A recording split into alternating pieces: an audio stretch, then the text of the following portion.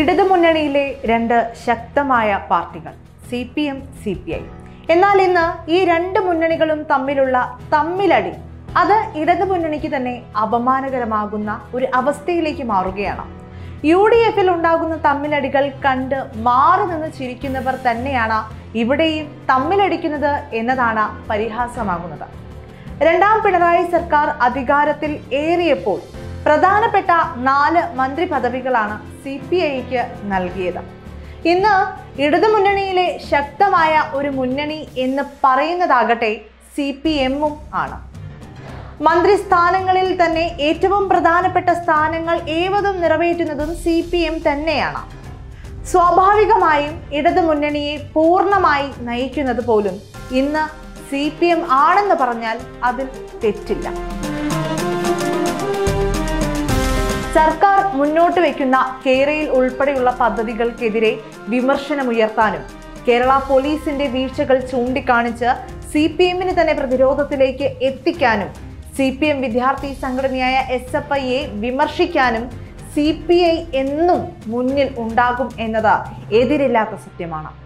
C P M C P I പ്രവർത്തകർ തെരുവിലിറങ്ങി പരസ്പരം ഏറ്റുമുട്ടുന്നതിലേക്ക് പോലും കാര്യങ്ങൾ കൊണ്ടുചെന്നെത്തിച്ചപ്പോൾ അത് പ്രതിപക്ഷത്തിന് പറഞ്ഞു ചിരിക്കാനും ആവശ്യം വരുമ്പോഴെല്ലാം എടുത്ത് ഉപയോഗിക്കാനുമുള്ള ഒരു ഉപാധിയായി മാറുകയായിരുന്നു.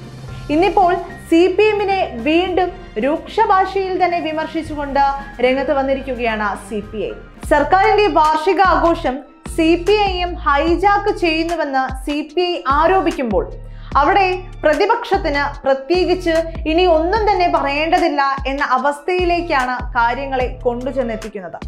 ഒരു തരത്തിൽ പറയുകയാണ് എങ്കിൽ പ്രതിപക്ഷത്തിന്റെ കുപ്പായം അണിഞ്ഞിരിക്കുകയാണ് ഇന്ന് സി പി ഐ. സർക്കാരിന്റെ വാർഷികാഘോഷം പാർട്ടി പരിപാടിയാക്കി മാറ്റിയെന്ന് സി പി ഐ ആരോപിക്കുന്നുണ്ട്. സി പി ഐ എം സംസ്ഥാന കൗൺസിലിലാണ് സി പി ഐ ഇത്തരമൊരു വിമർശനം ഉന്നയിച്ചിരിക്കുന്നത്. സി പി ഐ എം സംസ്ഥാന കൗൺസിൽ യോഗം തിരുവനന്തപുരത്ത് പുരോഗമിക്കുകയുമാണ്. കഴിഞ്ഞ ദിവസം നടന്ന സംസ്ഥാന എക്സിക്യൂട്ടീവ് യോഗത്തിൽ കേരളിനെതിരെയുള്ള സമരങ്ങളെ പോലീസ് കൈകാര്യം ചെയ്യുന്നതിനെതിരെയും വിമർശനം ഉയർത്തിയിരുന്നു. എന്നാൽ ഇന്നത്തെ യോഗത്തിൽ സംസ്ഥാന സർക്കാരിനെതിരെയായിരുന്നു കൂടുതൽ വിമർശനം ഉയർന്നു വന്നത്.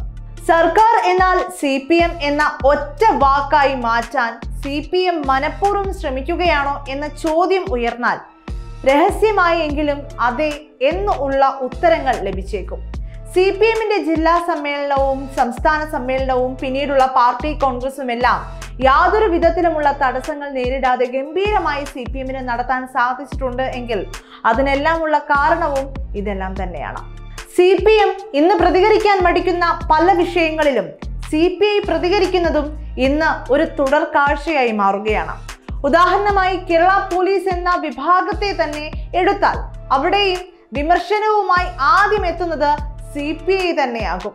വിമർശിക്കുന്നത് പോലീസിനെ ആണെങ്കിലും തൊടുത്തുവിടുന്ന ഒളിയമ്പുകൾ സി പി എമ്മിലേക്ക് തന്നെയാണ് വന്നു വീഴുന്നത്.